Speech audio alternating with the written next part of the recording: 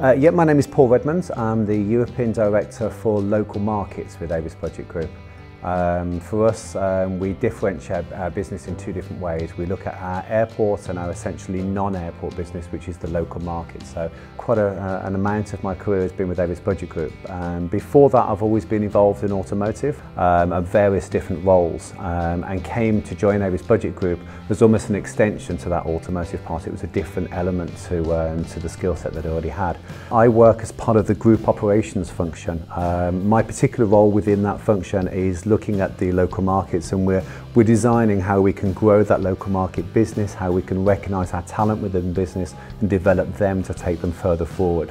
Um, it's a tight-knit team. Um, we are based um, predominantly here, but um, as the group operations team, we do work across the different countries.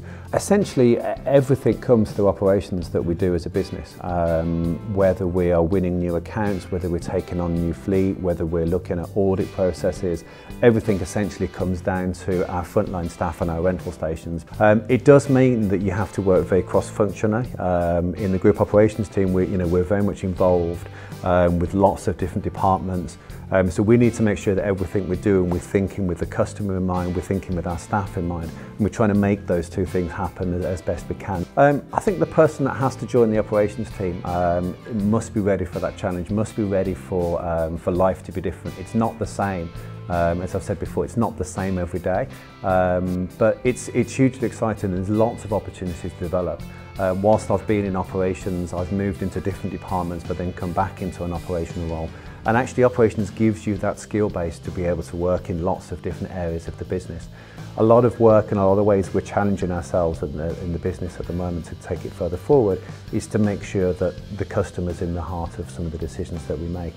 Um, essentially, um, if a customer, once the customer's in a vehicle, there's very little, little to do differentiate ourselves. So we need to focus on that journey to getting in the car, but also that focus once they've brought the car back and at the end of journey as well. I've been here for over 11 years now and I really enjoy it. Uh, it's, Um, the people that I work with are probably one of the key things. Um, my role means that I travel a reasonable amount and actually there's a really good ethos of working together of how we can make a difference. So I think anyone wanting to join the business um, would join and find a team that are really open and supportive and, and how you can work with each other. And the business is very open to change in terms of how we can work and how we can operate.